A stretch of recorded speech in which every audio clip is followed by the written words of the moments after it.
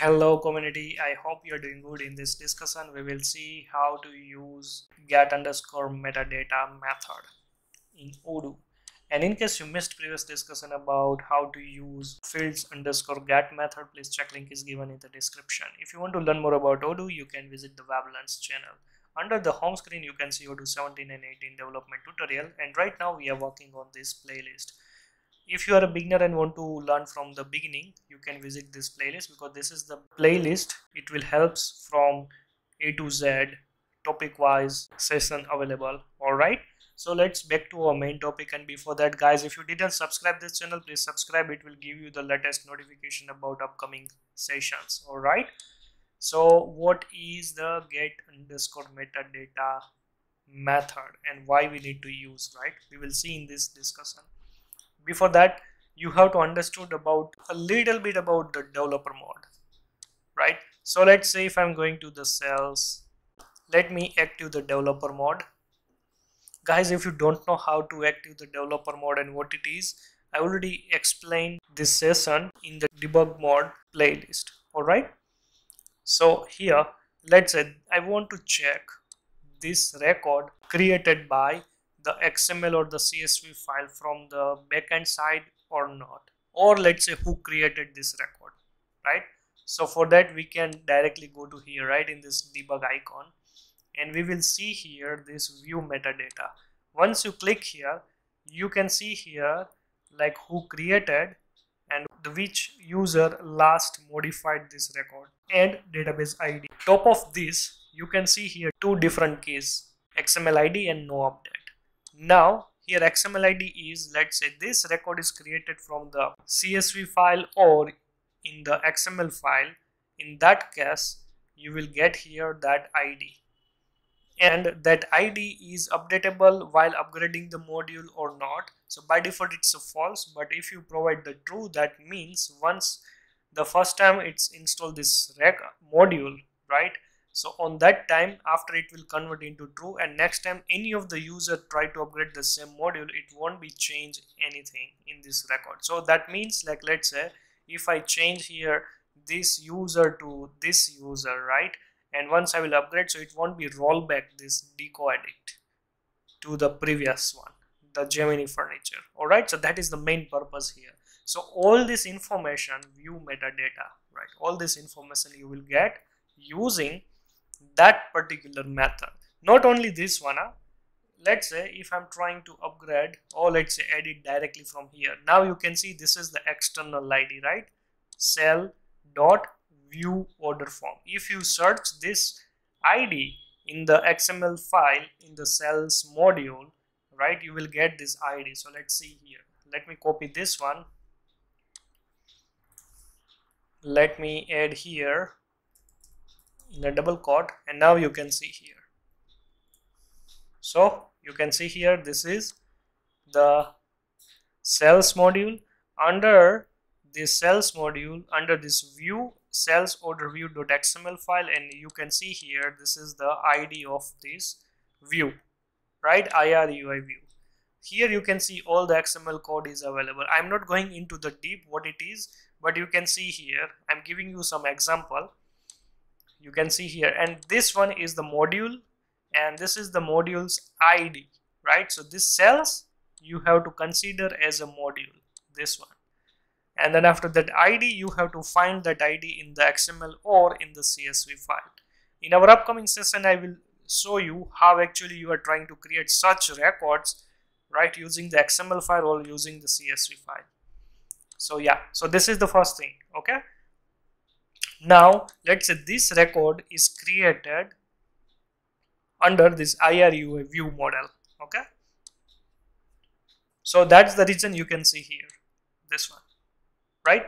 And now if I will see here this view metadata then in this case you can see here the XML the database ID is 1611 then after this XML ID right you can see sale and then after this ID name and then after like you can see like who created the create date. Then after who changed at last.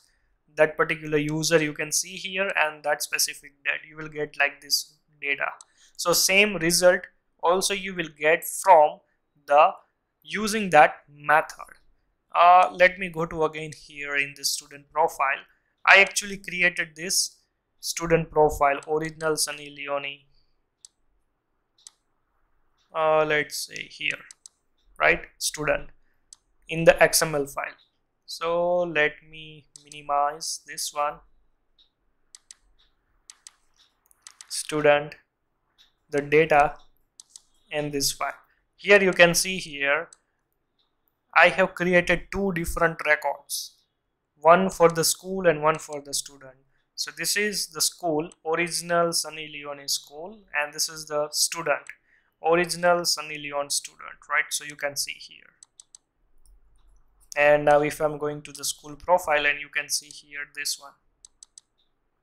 Okay? Now very interesting thing is if you see here in the debug mode view metadata you can see here student dot and that specific id right? And this id you can match here. This one so you will get idea. Okay so this is created from the module right? Now let me show you another which is directly created from the front end right? So here you can see view metadata and here you can see xml id is not available.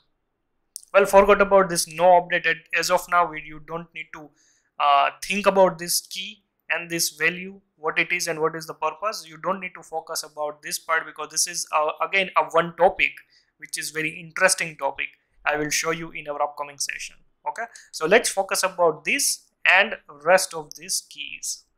So this key like Mitchell Admin created in when this date and who lastly updated this record so this person and this date right? So let's say if i'm trying to upgrade here something like this right? And if i will check here view metadata you can see today's current date it's available right?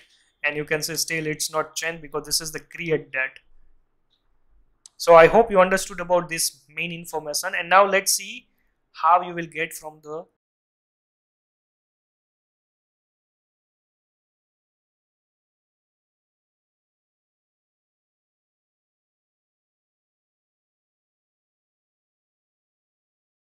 backend side. I mean from the method right? So here if i'm see uh, here this is the custom method. If i click to this button it will automatically map that method and it's called this method and it will execute this code. Okay? So let me again minimize this one and now I'm trying to provide you here some more information okay? So let's say self so let's say print self dot get metadata that's it. And guys this get metadata we don't need to pass any parameter because it's a blank parameter we have to pass. So that's the reason we are not passing anything here right? Now let me start the service guys if you don't know how to add, configure odoo in pycharm please check editor level playlist. I already explained everything. Once i click to this button now you can see here. Let's focus about this two line so this is the static data content and this is the current record set. You can see like this. Right? And now the current record set we just pro like i just want to know give me the metadata of this self so here it's give me in the list of dictionary format okay? So in a dictionary format i can see here the id the create uid the create date the write date right the write uid then after the xml id no update and xml ids right? I think you understood about these keys. Now let's talk about these keys so let so this is the no update key which i already mentioned from the pop-up right? We don't need to discuss right now. So let's discuss about this xml id and xml ids so here what happen is if you are using here the specific xml id right then it will always display here that specific id in a string format. And same here also right? So let's see here. For stud in self.env wb.student search print stud right? This is the stud stud name stud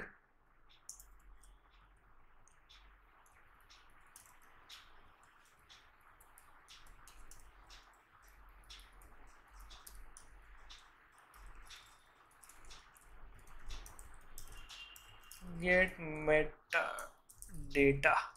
right? Like this. So here it will display the record set here you can see the student name. And here we are trying to get the metadata of this record set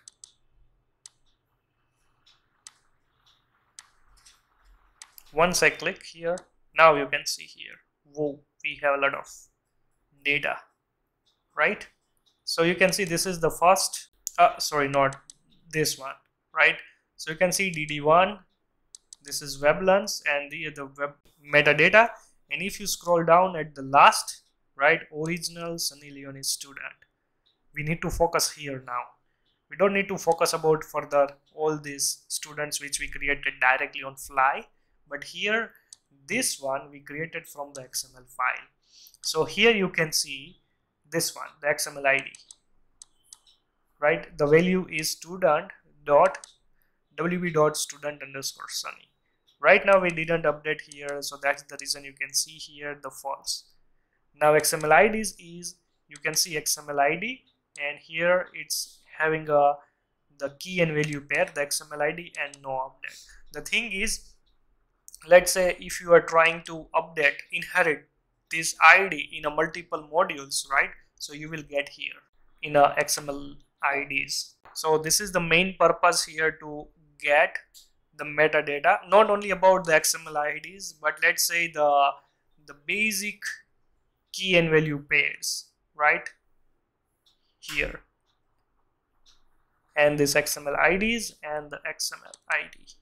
I hope you understood about this method. And if you still have any doubt, please comment below and see you in our next session.